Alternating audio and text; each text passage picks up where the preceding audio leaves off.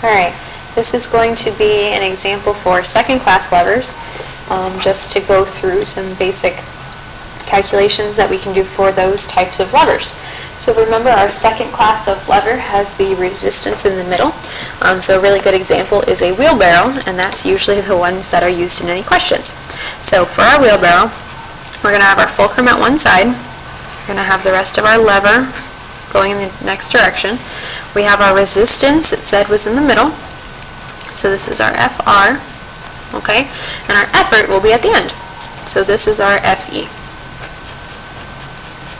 Alright, just like that. So for this one, we're going to have our FR is going to be 500 pounds. Alright, um, we don't know our effort force at the moment. And so now we have our distances.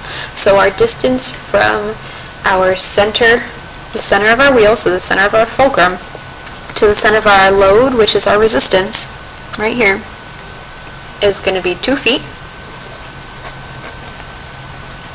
I'm realizing that was hard to see. Apologize for that. So 2 feet. Once it loads, there it goes. Okay, so 2 feet.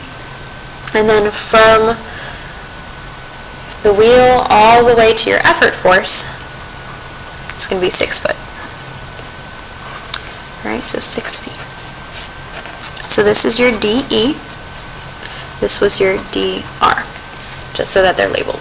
So remember, usually the first question for things like this are just label and draw the system so you get a good idea of what numbers are what and where they are all going in the system. Alright, so this is a little cramped. I would suggest making this a little larger, but that's okay, as long as you get a general idea. So what we're going to do first for this, we're actually going to find our IMA. We want to find our ideal mechanical advantage. So what it would be ideally if we were in a world without friction. So our IMA is going to be our DE divided by our DR, both of which we know. Alright, so we can fill this in. Our DE was 6 feet. Our DR was 2 feet. Okay, remember, use those units. Our feet will cancel in this case, and we're left with 3. Okay, so we're in a system where it's 3 to 1, 3 times easier than it would be, and 3 times the distance. Alright, so what we'll look for next, since we were missing our effort force, we're going to use our static equilibrium to find that effort force. Okay, so we're going to use the same static equilibrium equation we've used before.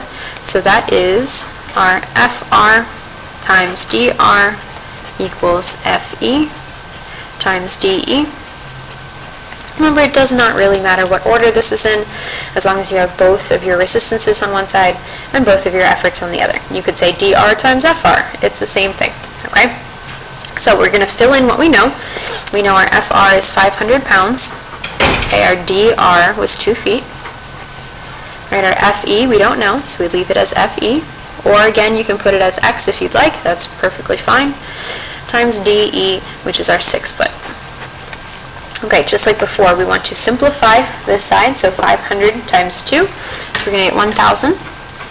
Remember to keep your units, so foot-pounds for now equals our FE times 6 foot.